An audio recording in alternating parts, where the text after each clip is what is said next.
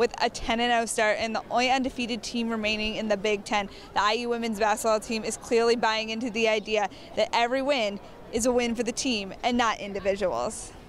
My teammates have my back. They kind of saw me out there struggling, but they were all surround surrounding me like, Sasha, you can do, you can do, keep fighting. You know, we got your back, and that's what it's all about. It's not just about me; it's about this team, and that's what we're focused on this year. We're winning as a team, not as individuals this year. We want to keep that going for the rest of the season.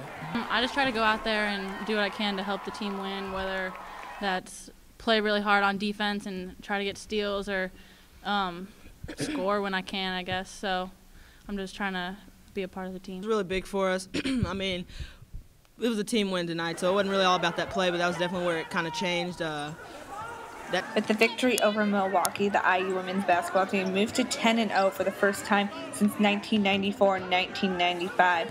This is also the first 10 game win streak for the program since that year as well. It's a great experience, you know, just being a part of the new era and having something actually start to build here at Indiana for Indiana women's basketball. It's been a long time coming, and I, I think we're finally on the move up. Playing for each other will be particularly important as this team faces a tough road stretch and plays the most road games in the Big Ten. From Assembly Hall, I'm Josie Janavicius, IU Sportcom.